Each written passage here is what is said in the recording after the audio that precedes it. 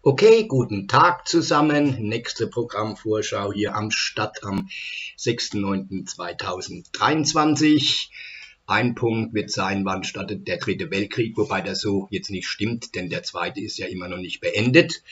Aber so hieß es dann halt im Artikel und gibt natürlich noch einiges mehr.